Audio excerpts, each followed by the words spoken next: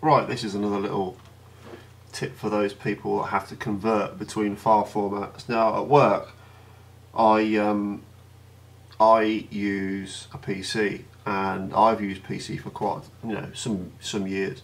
And one of the biggest frustration I have with the PC is its lack of support for different file formats. If you've ever got a conversion issue or you've got an incompatibility issue, it's going to be because of the file formats you're using and you've got to convert between them. Now, one of these in particular is videos. Videos is one of those areas where if you have the wrong codec, then uh, you can't watch it. So, one of the cool programs I found on my Mac because um, I was downloading YouTube videos, and one of the cool things that you can do is you can save your flash video file, which is what YouTube uses. Uh, you can save your flash video file onto your computer somewhere, and then you can convert it to anything you want, basically. Um, typically, MPEG tends to be the standard to go for. QuickTime hasn't quite hit that yet, although I'd like to see that take off a bit more. Um, but anyway, one of the programs which I use is something called MPEG Streamclip. Um, so if I open this program up so you can see it, it's completely free. This is freeware. You can download this for, for nothing. It's for PC and Mac, so don't think that it's just for Macs because it's not. It's for PCs as well. Um, so if you're stuck for some for your coursework at work or your homework, then you can download this, install it, and it's, it's pretty easy to use. I'm going to double click this. Now, for you to be able to use flash video files and convert them in this, um, you need to go to something called Perian or Perian or whatever, however you say it. Um, but there's a site called per, Perian.org, um, and basically it's a plugin. So if I just show you where these sites are, there's two sites you need to go to. One is Squared Five. Um, oh, sorry, it's late, very late. Um, so if I go into um, and type in and make MPEG Streamclip. Oh, I've typed it all wrong because I'm tired.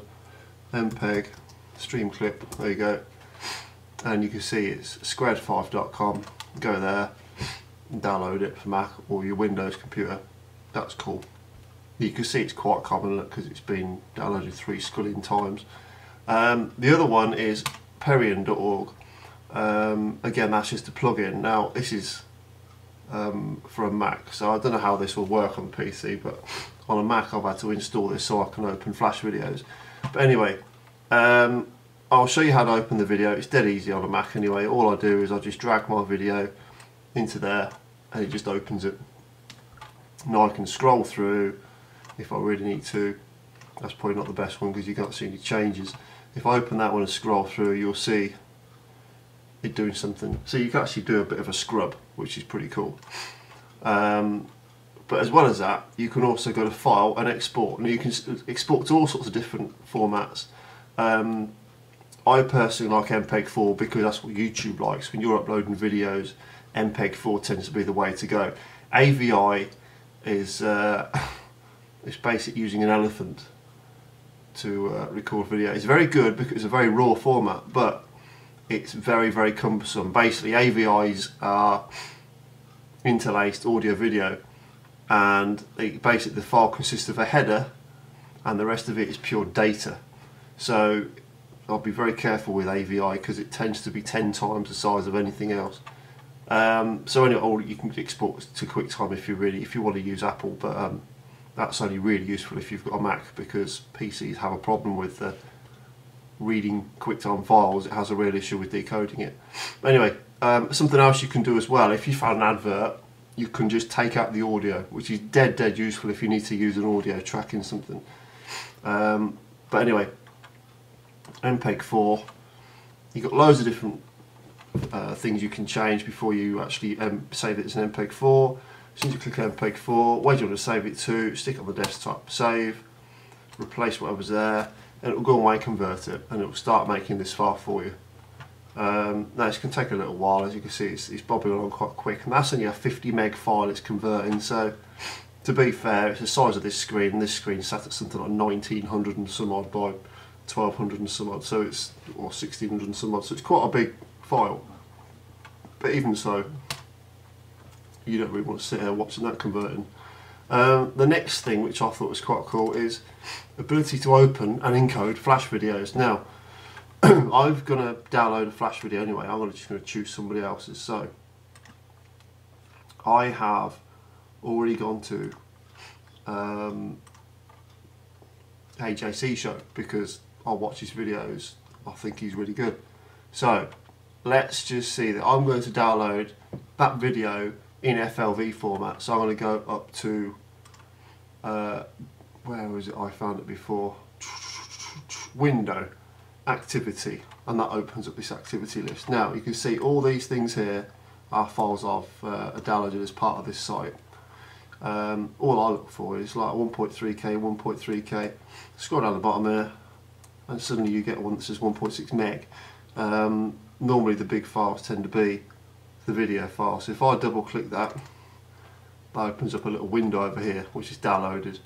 Um, and then if I right click and go show in Finder, it shows it um, in the Finder. But I will have to find out where it is because I've just lost it completely. Uh, there it is there.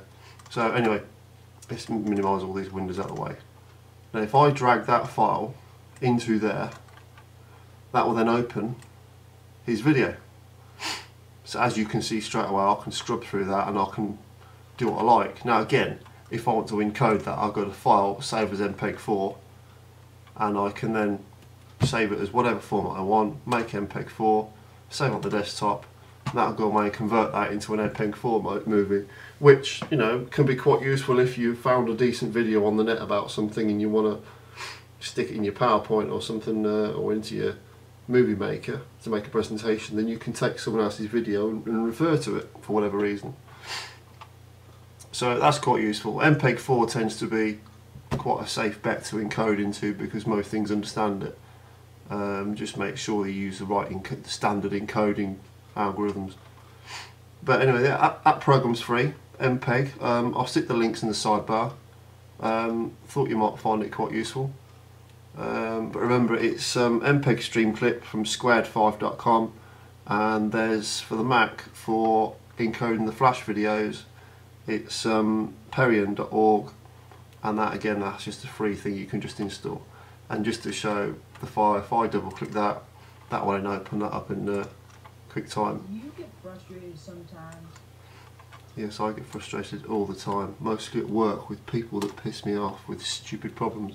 Um, and there you go, that file is encoded from um, whatever it was before, which in there is 1.6 meg, encoded it to 3.2 meg. Now it's not bad for an MPEG file. So, there you go. So, that's my tutorial for you well, it's not such a tutorial, it's just a tip really.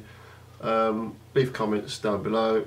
Um, if you've got any other cool programs which are free and do cool things or make a life easier somewhere, then let me know. Thank you.